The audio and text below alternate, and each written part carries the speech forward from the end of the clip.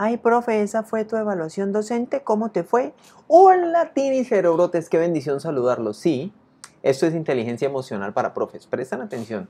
Esta es mi evaluación docente. Me fue extremadamente bien. Sin embargo, yo siempre a final de año saco un listado con los comentarios y con las observaciones que me hicieron para tener plan de mejora y presta atención a lo que te voy a decir. Mira, para seguir así, excelente maestro, explica genial, es muy divertido le importan mucho los estudiantes sus opiniones. Interesante, nosotros no sabemos quién las hace, son comentarios de nuestros estudiantes y es muy interesante el ejercicio. El profe sabe mucho de los temas que explica. Después de pandemia llegó con un conocimiento extra sobre los métodos de clase. Todo lo que hemos hecho en Cerebrote y está muy bien. Pero mira por mejorar lo que nos escriben, lo que me escriben a mí personalmente. Era de las clases a las que asistía solo por la asistencia, porque dentro del aula nunca se aprendía nada. Íbamos a sentarnos. Era de los profesores del núcleo que más se veía perdido. No tenía claro absolutamente nada y siempre nos confundía. Debíamos corroborar la información con cada profesor para medio entender. Era la clase de taller donde se suponía que se realizaba lo más importante, la parte gráfica, y nunca llegué a aprender el monitor para realizar algo. Si bien como persona se destacó el hecho de ir a la universidad, es también aprender cosas. Si bien como persona se destacó el hecho de ir a la universidad es también aprender cosas relacionadas a la carrera y eso nunca pasó. El peor núcleo de la carrera. Eso es de la universidad.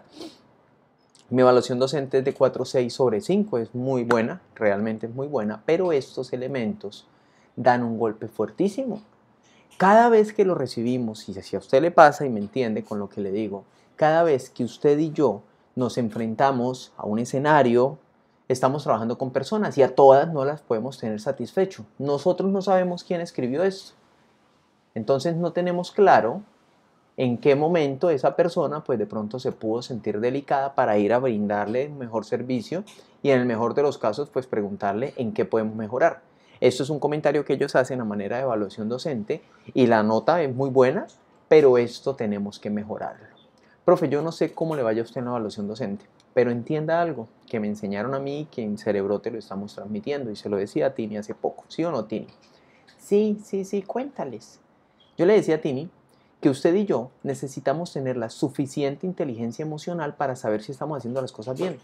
No necesitamos que nos elogien, tampoco que nos depriman, tampoco que nos den estos comentarios. Es durísimo, es durísimo. Pero a todos nos pasa. Yo creo que hay uno o dos compañeros a los que conozco que no les han hecho malas observaciones. Al resto, a todos, al menos un estudiante, le deja algún comentario que dice, no aprendí nada. Lástima el tiempo que paso con este profesor. Y hay personas que al otro lado de la pantalla, cuando están llenando esto, pues se llenan de valor y recrean algunos escenarios de pronto por algún comportamiento que tuvimos, alguna evaluación de pronto mal tomada o cosas así. Eso es una evaluación docente, es lo que los estudiantes hacen y nos dicen a nosotros. ¿Qué tengo que mejorar? pues de inmediato ir a mirar ese taller a ver qué fue lo que pasó para en venideros semestres, si sigo trabajando con ese grupo y con esos grupos, poder colocar más cosas y tener esa metodología un poco más clara. De pronto fue que no lo entendió. Y hacer un seguimiento de pronto un poco más acertado. ¿sí? Pero es eso.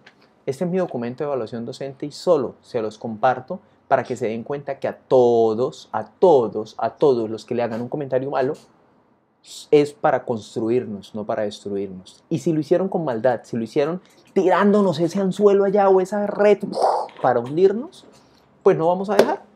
Porque recuerda que no estás solo, tienes una comunidad de profes. Yo aquí me estoy sincerando, ojalá tú me dejaras saber si, si a ti te va supremamente bien, me encantaría. Y si te dijeron algo, pues poder compartir entre nosotros, porque eso es lo que hacemos los profes.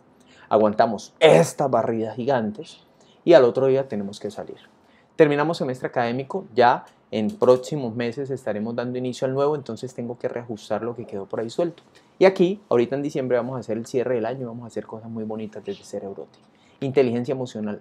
No me puedo caer, no puedo decir, no, no soy profesor porque alguien no lo dijo. Y tampoco me puedo sobreexaltar y decir, soy el mejor profesor del mundo porque alguien lo dijo, no. Pero debo saber que mi labor y mi misión es trabajar con gente. Y entender a la gente es entender a la gente. Se llama servicio al cliente. Todo aquí en Cerebrote, profes. Un abrazo. Esa fue mi evaluación. Bendiciones.